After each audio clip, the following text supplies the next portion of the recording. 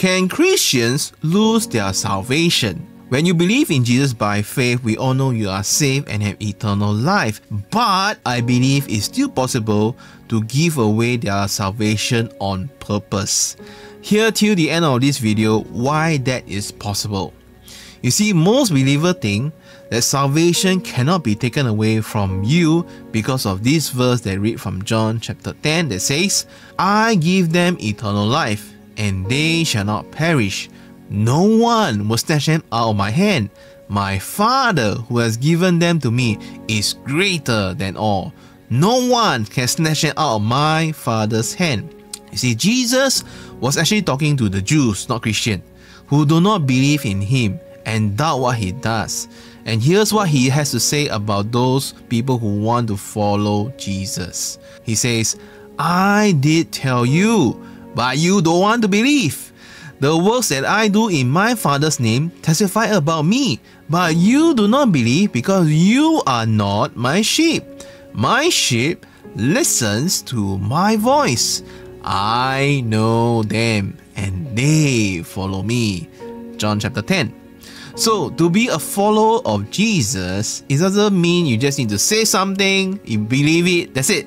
You don't need to say it, you need to listen to Jesus' teaching and follow them in action, just like what Jesus does, so that you will be more and more like Jesus every single day. And therefore, if you follow and put into action, your lifestyle will change. You will be more thankful every day for the things around you you will learn to love others more than yourself. You'll be less selfish. You'll be guilty whenever you sin against God because you know He's looking and you love Him. And if you claim to be Christian today, it actually meant something. You actually must follow and do what the Bible says and bear good fruits. You see, most Christians claim to just believe in faith, and they will be saved without any responsibility to follow what the Bible says into action. But your belief will not be shown to God to be sincere if it does not put into action in your daily living in Christ. For God looks at your heart. By their fruits also, you will recognize if they are Christians from Matthew 7:20. Just like how you identify a tree by its fruit. Let's say you see a tree and you see some durian on it, you know that's a durian tree. Then that's the same for people. You identify people based on their actions. If your action doesn't match like Jesus, did they even actually believe Jesus at the first place? You see people complaining, hey, this person Christian man, because their actions doesn't show that they are Christians.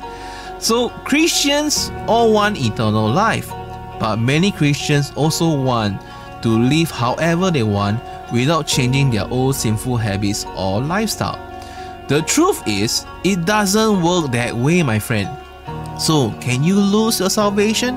I believe you cannot, but I do believe you can purposely return it the moment you say yes. you can give it back to God anytime you want. And there are people, sadly, who do that, especially Christians who don't want to go to heaven or don't want to follow Jesus' teaching. There are people like that. And when you realize everything that Jesus asks of you to follow, for example, not to gamble, not to be rude, right, and you go against those teaching that you desire to do more and more, all right, you can actually make mistakes. I'm not saying you can't, and you I'm not saying you cannot follow any of Jesus' teaching. It is good to follow them, but the big difference is this: you are constantly working towards getting closer and closer to behave like Jesus and to follow like Jesus and to repent daily too. Yes, you will still sin, but you will also repent too. You see, many Christians believe in a lie that they can purposely continue to live in sin, but not change their lifestyle and still have eternal life just because they believe in Jesus. Well, the devil also believe in Jesus. Does he go to heaven? Obviously not. So, what makes you any different? Think about that. So, I pray today you will pick up your Bible today. Start taking your belief in Jesus seriously and repent and obey the things that Jesus has taught you. As long as you have this constant guilt, which is a good guilt, with the need to repent and want to always stay close to Jesus, you will be always be safe and have eternal life. But if you don't put into action what Jesus teaches you and deliberately choose to ignore him or even worse, curse God, which you I do see some do. God still loves you and will let you be how you want to be. But I want to warn you, one day you will face God's judgment, which you can read in Romans chapter 1 and 2. And it's scary, I tell you. Go and read it.